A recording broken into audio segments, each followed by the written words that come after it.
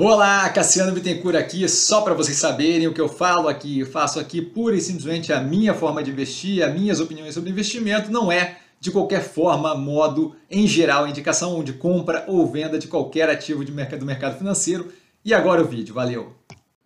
Olá, Cassiano Bittencourt, pelo Movimentos da Semana, como sempre, todo domingo, não importa se é dia 1 do ano novo, aliás, um feliz ano novo, tá? um feliz é... começo de 2023, a gente vem aqui justamente para falar dos movimentos que foram feitos. A gente teve bastante movimento justamente no pregão final na quinta-feira, dia 29, se não me engano.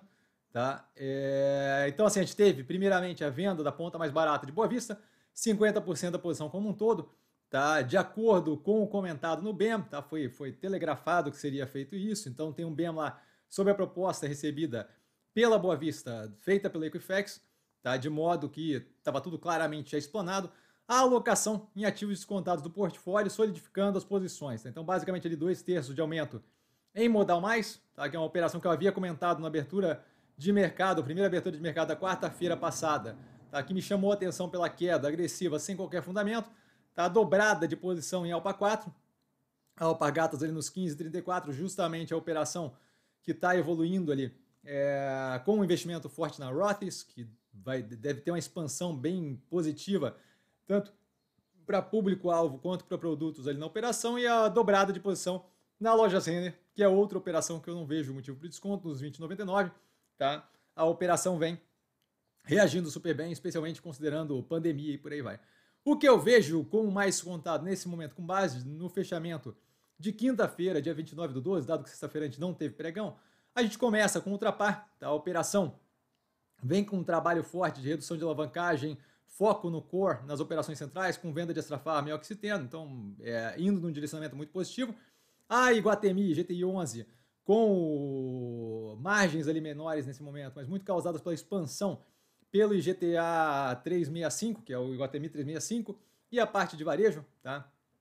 Então, é uma, um andamento aí de melhoria no, no, no escopo da operação, especialmente considerando que o IGTA 365 vende em lugares onde eu não tenho a presença física do shopping, o que é bem positivo para atingir mais pessoas aqui, vinculado ao mercado de renda mais alto, que é bem interessante nesse momento de maior tensão econômica. Tá? Soja 3, boa safra de sementes, com expansão é, para semente de milho, abre aí um horizonte para ampliação da operação, mais do que isso vem com todo um trabalho de melhoria na infraestrutura dela, de centro de distribuição, armazenagem, por aí vai. Ambipar vem fazendo um trabalho muito sério de compra de novas operações, sempre mantendo ali é, a visão em manutenção da alavancagem, o que é bem positivo para não deixar correr. Aquilo ali vem com resultados entregues bem positivos, não faz qualquer sentido o preço, assim como o Banco do Brasil. Tá? Tivemos aí a divulgação de quem será a presidente, é uma funcionária de carreira, ela sobe de gerente para CEO, que é um pulo considerável, mas ainda assim melhor do que aconteceu do que o que aconteceu, por exemplo, com a Petrobras, que teve um político indicado para a operação ali, tá? Para o controle, né? O Prates. É, então, assim, a operação não vejo ela degringolando, já foi comentado isso várias vezes, tem seleções no canal justamente comentando isso, do fato de que se o governo tiver interesse, ele pode atuar em política pública através do BNDES da Caixa com muito menos trabalho. BR Partners, operação que vem é, um pouco menos positiva, mas não chega a ser pressionada, dado justamente o aumento do risco percebido pelo mercado em geral, nos mercados em gerais, especialmente quando a gente fala de mercado emergente, que é o caso do Brasil, tá? Mais do que isso, é, a gente teve aí, isso acaba ocasionando uma redução na vontade ali, né, no, no, na disponibilidade de liquidez, e, é, reduzindo a quantidade de IPOs, de fusão e aquisição, de emissão de debêntures, justamente o que a operação aqui faz de mais forte ali, através do mercado de capitais, e da área de, área de mercado de capitais é a área de BI, de Business, business é, desculpa, de IB, de Investment Banking. Tá? É, a Cogna vem com um movimento muito positivo desde a pandemia ali, né? É, até agora, agora mais claramente ainda, de uh, conserto ali da operação, adaptação da operação para lidar melhor com o cenário atual, tem sido muito positivo, o VID é, fluxo de caixa bem positivo, pós-investimentos, ali a operação está muito alinhada com manutenção de alavancagem para justamente continuar crescendo e evoluindo positivamente. Tá? Guararapes, desculpa gente, com uma posição é, bem interessante, a operação vem melhorando é, bem forte ali no operacional financeiro versus pandemia.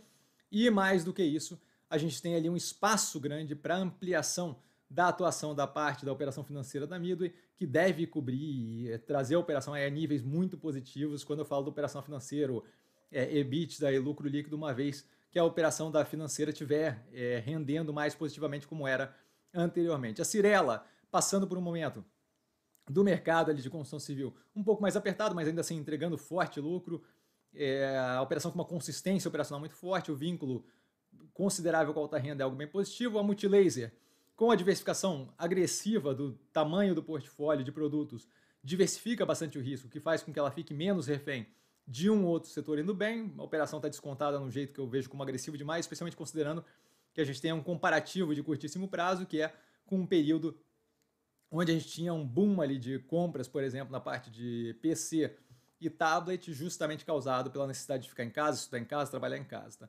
A Lojas Renner, como dito, dobrada a posição, a operação roda muito bem, teve algum sustinho ali na parte financeira, ainda assim é, muito alinhada, o operacional financeiro dela e as partes ali de margem bruta, todas muito alinhadas, tá bem positivas no comparativo com pré-pandemia, não vejo qualquer racional para a operação nos níveis de preço que está, assim como não vejo para a Zemp, que vem num processo de contínua redução de custo de mercadoria vendida, que acaba ajudando na margem, crescimento do ecossistema digital. A mudança de CEO foi feita de uma, de uma forma muito séria, tá? foi avisado com bastante antecedência, o que mostra justamente a governança corporativa bem alinhada da operação. A Alpa 4, a Alpargatas, dobrada a posição também. É uma operação que vem no movimento bem positivo com a compra da Rothes e justamente arriscar um pouco mais longe para poder ter aquele ganho agressivo na, na operação a hora que vingar aquilo ali, eu vejo como muito positivo, não vejo essa, esse dreno de caixa da Rothes nesse momento como algo problemático, vejo justamente como o custo que se paga para poder ter uma operação outstanding muito positiva no futuro. Neoenergia, a operação vem com capacidade de investimento há bastante tempo, muito forte, sabe o que está fazendo, então sempre entrega muito positivamente a operação. É, re, re, reencheu, né, realocou ali é, o portfólio de investimentos para aumentar justamente, para ter um horizonte mais positivo. E a gente teve a compra da SEB tempos atrás, e a gente viu ali o trabalho que eles fizeram ali dentro de melhoria da operação, que está rendendo cada vez mais. O Banco Pan, com vínculo com baixa renda, deve se beneficiar nesse governo, especialmente. Tá? A operação consegue lidar com baixa renda, conhece o cliente final, tanto é que a gente vê ali níveis de inadimplência super controlados, uma operação que lida com um público que, em geral, tem um pouquinho mais de dificuldade no que tange a questão da inadimplência. Então, não vejo como é, problemático, vejo ponto a observar ali os empréstimos consignados feitos com relação, com, com vínculo com o Auxílio Brasil, que esse ponto deve ser meio, meio, meio incômodo, mas nada que afete que justifique o preço atual. Tá? Clabin, a operação não tem o que dizer. Tá? Eles vêm fazendo investimentos faraônicos, aquilo ali vem refletindo muito positivamente na operação. A gente deve ter, se não me engano, no segundo, no, no segundo trimestre ou no segundo semestre desse ano, a entrega da MP28, a máquina de papel cartão, a segunda máquina da Puma 2 e a máquina é, e a, o projeto Figueira ali para papelão ondulado, que também deve racionalizar consideravelmente a operação dela com papelão ondulado, permitindo o uso mais dinâmico e estratégico das, da, das máquinas que fazem papelão ondulado. Tá? A Modal Mais, que teve a, a posição aumentada em dois terços, 66,7%, só para não ficar na dízima periódica, é, vem também com uma operação pressionada, dado justamente aquele momento, mesmo efeito que tem é, no BR Partners, mas um pouco menos, é, um pouco mais direto, dado que ela está ali lidando com operação, não, é, não são projetos tão de grande porte, como a abertura de capital é muito mais o dia a dia ali de operação, de investimento de pessoa física e por aí vai, é, acaba sendo pressionado nesse momento de maior risco percebido pelo mercado, mas é uma operação que médio e longo prazo é muito positiva. A compra do controle dela pela XP garante ali longevidade para a operação. Mais do que isso, se a gente tiver troca de ações da MODL3 por XPBR31, não será um problema dado a análise que a gente fez no terceiro trimestre da XP, que a gente vai continuar fazendo até que isso daí seja resolvido, justamente mostrando que a operação da XP está muito descontada também e é, tem um médio e longo prazo ali muito positivo. Tá? Eu comento isso, justamente o market share, inclusive, deles aqui, é, na operação da XP. Tá? A Mobile vem muito positiva, Tá? A operação conseguiu ele queimar o cash burn ali, que é reduzir a queima de caixa, tá zerando isso e melhorando em praticamente todos os, os, os quesitos ali de, que, que, afetam a margem, né? especialmente logístico. E eu digo muito positivo porque a gente teve um preço que reflete uma operação que estava afundando e a operação está fazendo justamente aquele trabalho todo de construção de um alinhamento mais positivo que foi comentado lá do IPO, um pouco mais de risco, mas uma operação que está direcionada é, justamente com o trabalho de construção ali do digital, do físico digital, e eles têm feito isso com dinamismo para inclusive mudar de estratégia ali no meio do processo para evitar que aquilo ali levasse a um plano definido anteriormente que não levava em consideração a sintonia fina no meio do caminho. Tá?